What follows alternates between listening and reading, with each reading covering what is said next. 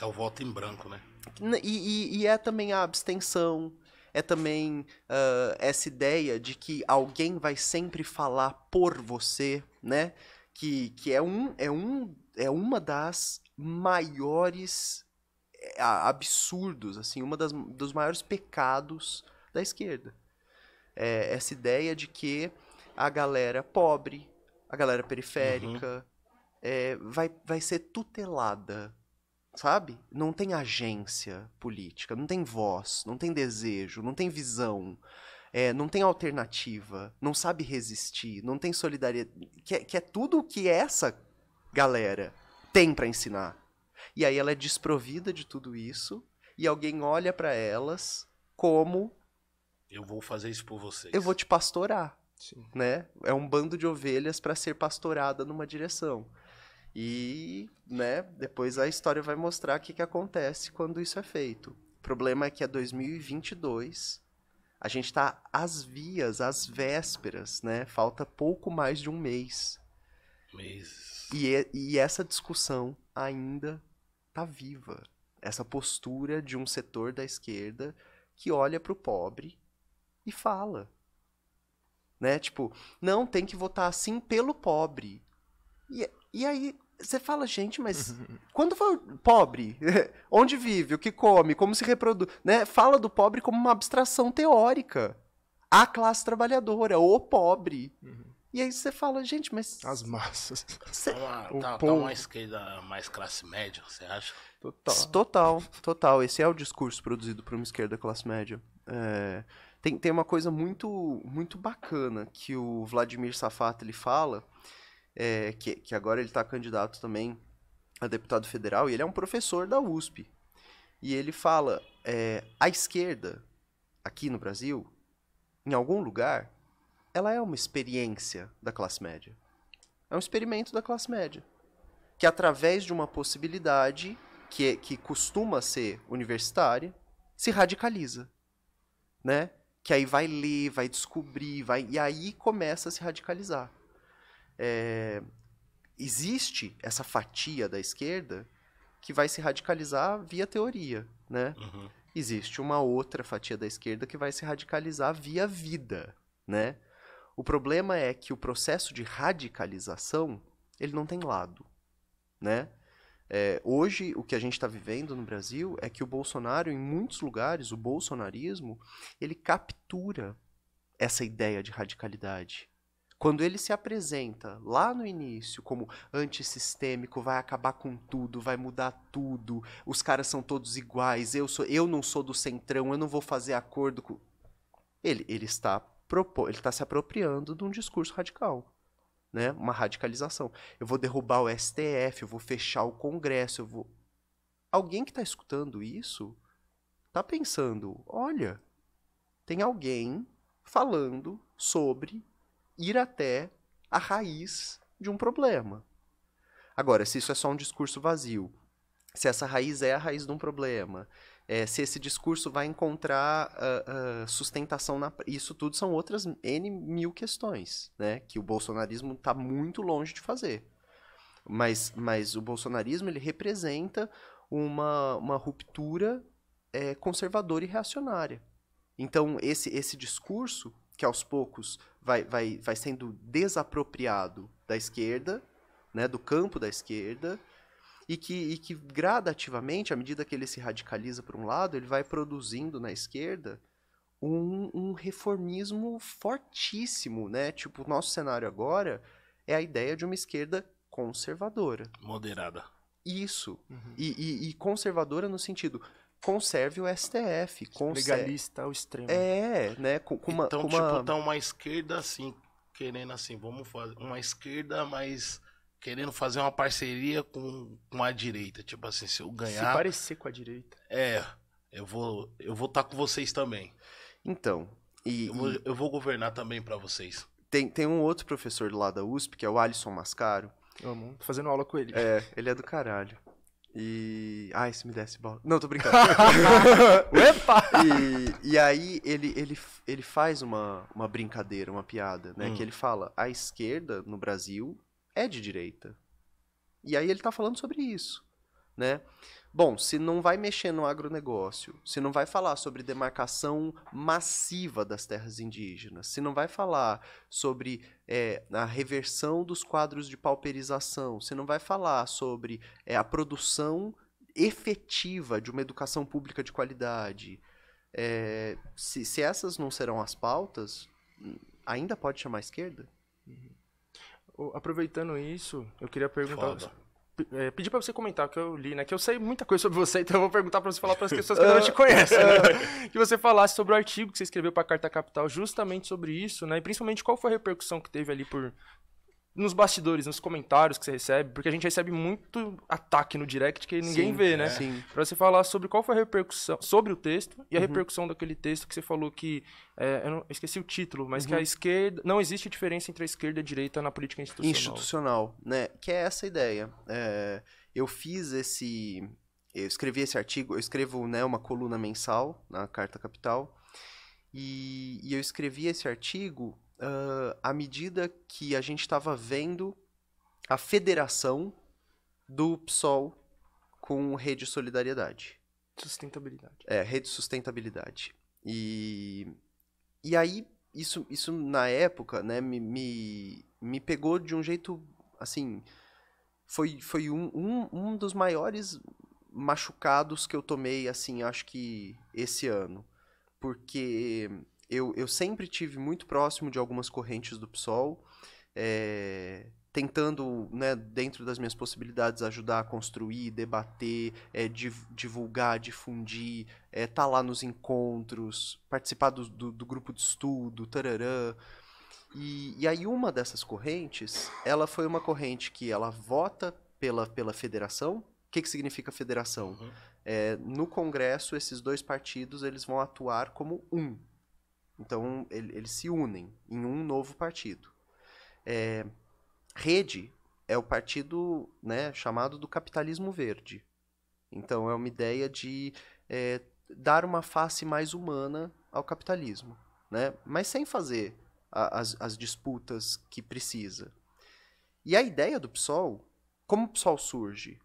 O PSOL vai começar a surgir quando, no primeiro governo PT, depois de ter sido eleito com amplo apoio popular, o Lula, esse primeiro governo Lula, aprova uma reforma da Previdência. Então, é, e, e aí é sempre importante os termos que a gente usa para discutir isso, porque quando a gente fala reforma da Previdência, suando assim não soa como nada, né? Uhum. Porque reforma parece uma coisa bacana, né? Vou reformar minha casa, vou reformar a rua. Vai refor que reforma. é reforma é bom. Nossa, Deus me, Deus me, Deus me deu uma de graça, quem dera. Só que não é reforma, é desmonte. Essas reformas que vão sendo feitas no Estado, elas vão sendo feitas para atender interesses específicos.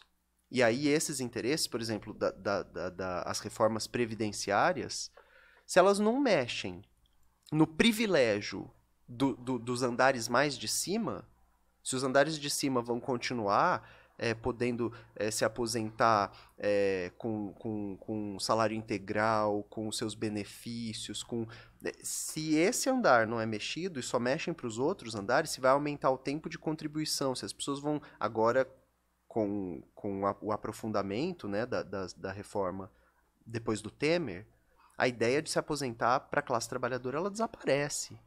A ideia de que um dia você vai ter o, o, o seu, o seu provento garantido e vai poder, depois de ter ajudado a construir o país durante 60 anos. Não. Agora é 75. Agora você vai ter que comprovar com carteira assinada, mas não tem mais carteira assinada.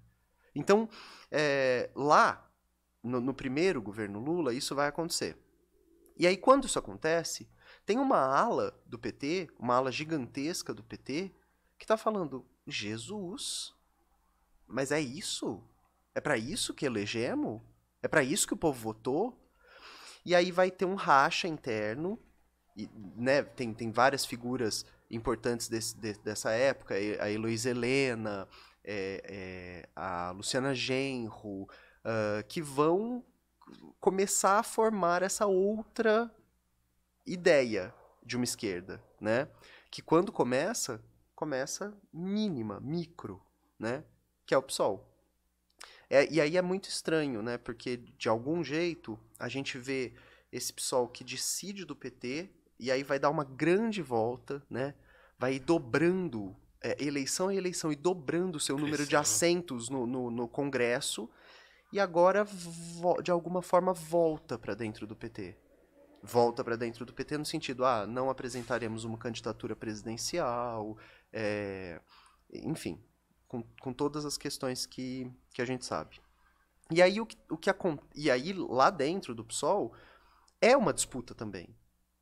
Teve, te- teve é, é, desfiliação em massa. Teve rompimento de correntes em massa. É, e existe uma galera que ainda está lá, que ainda está trabalhando pela radicalidade desse partido. Só que o que foi decidido, e, e aí os processos de decisão foram bem esquisitos, o tempo para debate foi muito esquisito, foi uma coisa super feita às pressas. A galera conta com muita tristeza que estava lá dentro né, desse, desse processo. E o texto ele vai ser feito aí.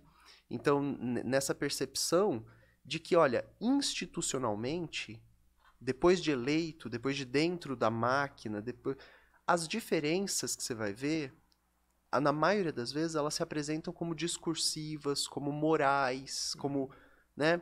Então é pensar ah, o nosso cenário agora, por exemplo, para governo de São Paulo. Ah, o, que, a- o que a gente vai ver é, um, é, é o Haddad, né, a- apontando como preferido, e, e esse governo Haddad fazendo, bom, a vice-presidência do Alckmin. E aí, um, um dos motes da campanha do Haddad é que São Paulo está cansado de mais de vinte e tantos anos da gestão do PSD. Gente, mas 14 foi do Alckmin. foi do Alckmin. e, e fora quando o Alckmin tava de vice, né? Se somar tudo, dá- dá- passa de 20. Então, o, o- o- povo está cansado. ma- Mas se está cansado, por que que... E aí o Márcio França, que era o que foi vice do Alckmin na, na, na chapa, agora... Então agora tá todo mundo junto. A ideia de- desse texto é falar, olha, se, se a gente se pleiteia como outra coisa, é, cadê essa outra coisa? Né? É, existe diferença na gestão? Sem sombra de dúvida. Né? É impossível comparar. É, quer dizer, impossível não é. Mas, mas não é, não é, ah, uma escolha muito difícil. Não tem nada disso. Mas é a ideia da demanda de uma radicalidade, da demanda de um avanço que não, que não por essa via não se coloca. Você não acha que os partidos foi perdendo essa radicalidade? O bolsonarismo veio tão forte que deu nisso aí que você tá falando, juntou todo mundo nesse balaio aí só. De, de certa forma, Big. É, fico, fico pensando que talvez o, o- a, a forma de pensar essa questão seja. E aí, a, a última coluna que eu escrevi para a Carta Capital, eu falo de um tripé né, do bolsonarismo. Hum, Que ainda é, é o que mantém o bolsonarismo de pé. E aí, esse tripé que seria? ele, ele, esse pé da frente é o Bolsonaro.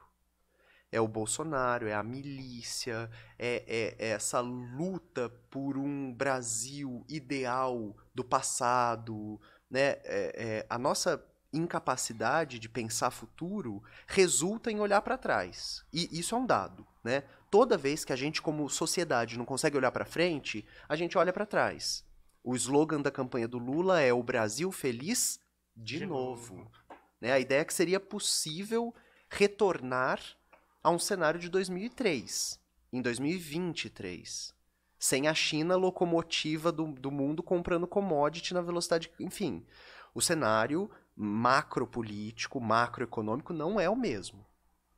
É, não voltaremos ao, né, ao Brasil. Ah, é importante agora é, lutar pela defesa da democracia. Que democracia? Democracia em vertigem. É, E aí é importante voltar para essas questões, né? É, se você for para os bairros pobres, se for para as periferias, se for para o Brasil profundo, falar para as pessoas, olha, a gente tem que lutar pela defesa da democracia. A galera vai olhar para você e falar, como assim, por exemplo? Nunca nem vi isso aí. Como que é a democracia quando entram, entram no meu bairro matando? Entram dentro de casa, não tem privacidade. Como, como é Da viela, da favela, tirando em criança. quando, como é a democracia com todas essas chacinas? Como é a democracia com todos os direitos tomados? Como é a democracia eh, se o dinheiro público para educação vai ser investido também nos grupos de educação privada? Se esse dinheiro não é para contratar mais professor, abrir mais vaga em universidade, é diminuir a- o absurdo do vestibular. E, e aí, de novo, né? Então, esse tripé, ele tem essa frente bolsonarista, que tem a ver com, com isso que a gente conhece do Bolsonaro, que esse Bolsonaro que se apresenta para o público, e se apresenta para o público como esse disruptivo político que fará uma grande mudança. Não tem grande mudança nenhuma sendo feita. O, o outro pé do tripé, ele está apoiado num sentimento de carência. Essas duas são carências, porque o bolsonarismo é a carência de uma radicalidade. Então, e- o, o Bolsonaro nos mostra, tem uma parcela da população ávida por um discurso de transformação. O outro, que são os três discursos pré-abertura do, do período de campanha. Então, quando ainda não podia fazer campanha, a gente teve três discursos: o Bolsonaro, a Michele e o Paulo Guedes. Esse é o tripé. A Michele vai fazer esse apelo ideológico religioso. Então, ela manobra a fé do povo. Né? Ele- Eles conseguiram eh, advogar Brasil afora um Jesus Cristo armado. Então, que, que Jesus Cristo é esse? Que ele não existiu. Ele é um cara que foi torturado e morto pelo Estado. Ele é um cara que foi perseguido pelos poderes. Né? A passagem que ele entra é, no templo destruindo tudo. Cada evangelho, por exemplo, do Marcos, quando fala dessa passagem, fala que os príncipes, os escribas e, e, e, e os, os líderes religiosos procuravam ocasião para matá-lo. Então, ele era um poder de esquerda, se é, que, se é né, anacronismo falar esquerda nesse contexto. Mas ele era um poder Antissistêmico. é popular, né? Que se opunha ao poder religioso vigente, é, é, econômico vigente e estatal vigente. Então esse é, o, esse é o Jesus Cristo que a gente apreende por passagens do Evangelho. Ele era um cara do povo para o povo. Ele vai, ele vai arrumar uma briga com todas as instituições que estavam colocadas: as econômicas, as religiosas e as políticas. Mas a gente chegou num lugar que a marcha para Jesus tem arma. Que Jesus só não tinha uma pistola porque na época dele não vendia. Que- então, é essa manobra. Só que a Michele Bolsonaro, ela, ela tá muito atenta a uma coisa que a gente tem uma série de intelectuais brasileiros é, é, falando sobre. Por exemplo, a Jaqueline é, Teixeira, que é professora da USP, agora da UNB. A, a Jaqueline Moraes Teixeira, ela, ela fala, né, tem, tem, um, tem um texto dela muito bom, que ela vai mostrando como essas eleições vão ser decididas pelas mulheres pretas, em especial, né, que, que, é, que é a maioria, as mulheres pretas evangélicas e periféricas, pobres periféricas. E aí esse discurso é o aborto é pecado. Eles querem, ó, ele está se reunindo com os demônios. O Congresso era um, era um espaço dos demônios, agora é de Jesus. Então é um discurso que, que manobra a fé. E chega forte. Ou se chega, ou se chega. E, e aí o que, que a Michelle Bolsonaro mostra pra gente? Que tem uma parcela gigantesca do Brasil desesperada por afeto e laço. Essas pessoas se chamam de irmão. A gente se chama de irmão. O- Essas pessoas elas se reúnem para cantar e dançar. Muitas vezes é o único aparelho de cultura daquele bairro, onde tem instrumento musical, onde as crianças vão poder ir pro coral, onde é, tem alguma política de combate à dependência química, onde tem laço de solidariedade, emprego, onde tem cesta básica, onde tem. Então, ela, esse tripé ele vai mostrando, ó, aqui na frente, o desespero da população por um discurso de mudança radical. Aqui do lado, nesse flanco, o desespero da população por laço, afeto e comunhão. e o Paulo Guedes, que nesse último discurso dele fala que o, esse auxílio, né, que é um auxílio voto, que é a ideia de que tudo que eles criticavam o PT por ter feito, é essa ideia né, da, da, manobra do pobre. O pobre é burro. Uhum. O pobre vota porque quer comer.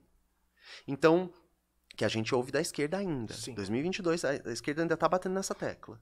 O povo quer comer, tem que votar no Lula. É...